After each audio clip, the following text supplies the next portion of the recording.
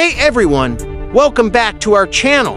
In today's video, we're diving into the world of Skibidi Attack Season 3, Episode 3, where we see the first appearance of the Titan TV Man. So, buckle up and let's get started.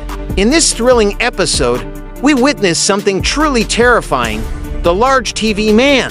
After his grand entrance in our story, we also catch a glimpse of something lurking in the shadows, a mystery that's yet to be revealed. This Titan TV man is no joke. Standing at a staggering height, his immense size is enough to send chills down your spine.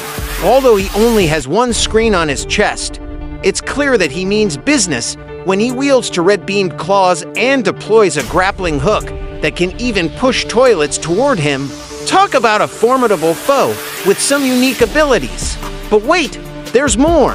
When this giant TV man appears and utters Titan TV, one of the toilets in the room suddenly flushes itself.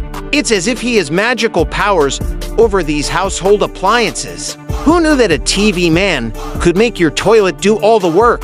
It's truly an intriguing development in our ongoing saga. So there you have it. Folks, our analysis of the Titan TV man's first appearance in Skibidi Attack Season 3 Episode 3.